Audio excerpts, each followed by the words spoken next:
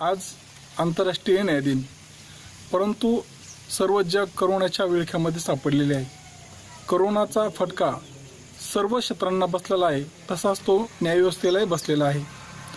गेली चार महिन्यापासून न्यायालयातील काम विस्कळीतपणे सुरू आहे. तर अनेक खटले प्रलंबित पडलेले आहेत. यावर उपाय म्हणून भारत सरकारने ई कोर्ट ही संकल्पना मांडलेली आहे. याचा पायलट प्रोजेक्ट नाशिक जिल्हा न्यायालयात सुरू करण्यात आलेला आहे. नेमकी ही ई कोर्ट संकल्पना काय आहे? या माध्यमातून सर्व काम ऑनलाईन कसे चालणार आहे? वकिलांचे युक्तिवाद न्यायालयांचे न्याय किंवा साक्षीदारांच्या साक्षी या सर्व या माध्यमातून कशा होणार आहेत? यातील फायदे तोटे काय आहेत? या सर्वबाबत आपण जाणून घेऊयात जिल्ह्यातील ज्येष्ठ विधिज्ञांकडून. ॲडव्होकेट अविनाश जनार्दन भिडे. न्यायालयामध्ये पूर्वी ज्या पद्धतीने कामकाज चालायचं ते पुढे चालू राहीलच काही दिवस किंवा काही वर्ष. परंतु आता हळूहळू ही व्हिडिओ कॉन्फरन्सिंग किंवा इन्फॉर्मेशन टेक्नॉलॉजी ह्या टेक्नॉलॉजीचा सर्व वापर करत केसेस फाईल करणं आपले रिटर्न स्टेटमेंट्स फाईल करणं आणि आपली आर्ग्युमेंट्स फाईल करणं त्याचप्रमाणे व्हिडिओ कॉन्फरन्सिंगवरती विटनेसेस तपासणं हे आता सर्रास चालू होणार आहे आणि ते आता काळाची गरज आहे असं मला पण वाटतं. न्यायालयामध्ये जी आपण गर्दी बघतो प्रचंड कारण एक केस असेल तर त्याच्याबरोबर त्या पक्षकाराबरोबर त्याच्या त्याचे नातेवाईक म्हणा मित्र म्हणा दहा पंधरा जणं काही काही वेळेला तर पन्नास पन्नास जणं ही लोक येतात. आणि त्यामुळे खूपच तिथे गोंधळ निर्माण होतो आणि त्याचा कामकाजावरही परिणाम होतो. कोर्टातला जो एक ऑरा असतो किंवा वातावरण असतं ते असं व्हिडिओ कॉन्फरन्सिंगमध्ये ते निर्माण होत नाही. त्यामुळे ह्या गोष्टी जर लक्षात घेतल्या तर मला असं वाटतं की ज्युनियर लोकांचं खूप त्याच्यामध्ये नुकसान होण्याची शक्यता आहे. ज्याला कम्युनिटी लिव्हिंग याच्यामध्ये जो आता फरक पडणार आहे तो मात्र आता नक्की जाणवणार आहे आणि तो चांगल्यासाठीच होईल असं मा अशी मला आशा आहे. मी पुन्हा सर्वांचं सर्वांना मनापासून शुभेच्छा देतो आणि आशा करतो की ह्या पुढे भविष्यातले जे कोर्ट सगळी प्रक्रिया आहे ती सर्वांना फायद्याची ठरो सर्वांना उपयुक्त ठरो धन्यवाद. मी ॲडव्होकेट नितीन ठाकरे अध्यक्ष नाशिक बार असोसिएशन संपूर्ण जग हे कोरोनाच्या प्रादुर्भावामुळे संक्रमित झालेलं आहे आणि न्यायव्यवस्था सुद्धा याला अपवाद नाही. त्यामुळं न्यायव्यवस्था आणि न्यायालय ही संपूर्णपणे ठप्प झालेली आहे. अशा परिस्थितीमध्ये ई कोर्टाची संकल्पना आता पुढे आलेली आहे. भारतामधला सगळ्यात पहिला पायलट प्रोजेक्ट हा नाशिक वकील संघाला मिळालेला आहे आणि या माध्यमातून ई कोर्टाची सुरुवात ही या ठिकाणी होत आहे. याच्यामध्ये वकिलांना सी आय एस रजिस्ट्रेशन आणि ई रजिस्ट्रेशन करणं गरजेचं आहे. आजवर जवळजवळ दोन हजार वकिलांनी सी आय एस रजिस्ट्रेशन केलेलं आहे आणि जवळपास साडेसहाशे वकिलांनी ई रजिस्ट्रेशन त्या ठिकाणी केलेलं आहे. या माध्यमातून ऑनलाईन आपल्याला केसेस दाखल करता येऊ शकतात. ऑनलाईन युक्तिवाद करता येईल जबानीसुद्धा घेता येईल. त्याचबरोबर ऑनलाईन कोर्ट फी स्टॅम्प भरणे किंवा इतर काही फीज असतील पेनल्टीज असतील या सगळ्या गोष्टी ई फायलिंगच्या माध्यमातून या प्लॅटफॉर्मवर होऊ शकतात. आणि म्हणून अशा प्रकारच्या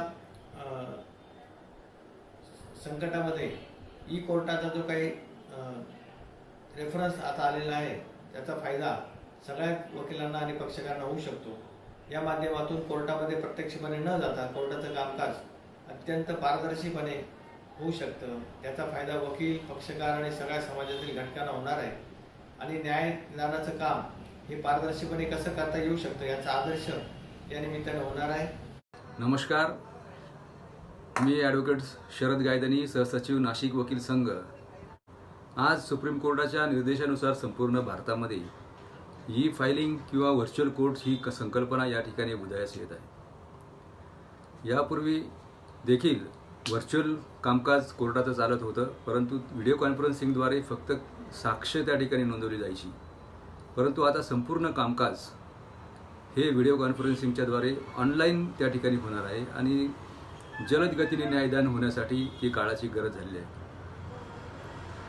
क मग आता त्या ठिकाणी दिवाणी दावा असो कौटुंबिक न्यायालयातील प्रकरण असो किंवा फौजदारी प्रकरण असो सर्व प्रकरणं या ठिकाणी ई फायलिंगद्वारे आता कोर्टात न जाता वकिलांना त्यांच्या ऑफिसमधून दाखल करता येणार आहे. इतकेच नव्हे तर एखादा युक्तिवाद देखील. प्रत्येक प्रकरणामध्ये छोट्या छोट्या अर्जांवर त्या ठिकाणी युक्तिवाद होत असतात. त्या युक्तिवादासाठी आपण प्रत्यक्ष हजर राहणं वकिलाला त्या ठिकाणी शक्य होत नसतं.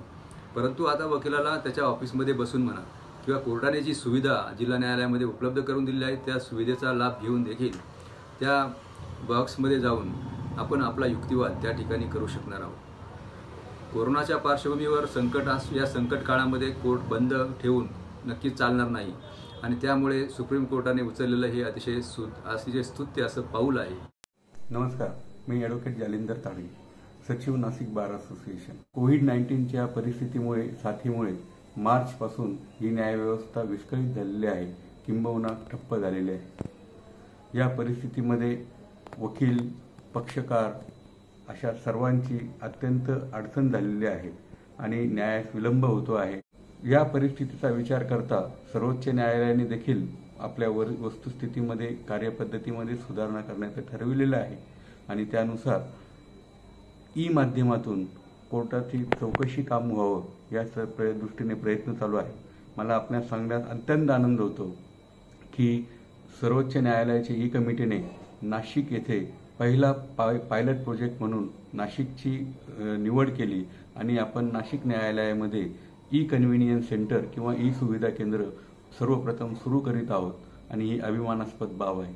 येत्या पंचवीस तारखेला सर्वोच्च न्यायालयाचे न्यायमूर्ती माननीय धनंजय चंद्रचूड साहेब यांच्या हस्ते त्याचं उद्घाटन प्रस्तावित आहे. यामुळे कदाचित न्यायव्यवस्थेचं प्रत्यक्ष कामकाजात फार फरक पडेल असलं नसलं तरी एक नवीन भविष्याच्या दृष्टीने वळण देणारी घटना आहे. आणि जगाच्या वेगाप्रमाणे इंटरनेटच्या या युगामध्ये आपण कालानुरूप बदल केले पाहिजे याचं एक प्रतीक म्हणून आपण त्याच्याकडे बघत आहोत. पुन्हा एकदा सर्वांना या न्याय दिनाच्या हार्दिक शुभेच्छा.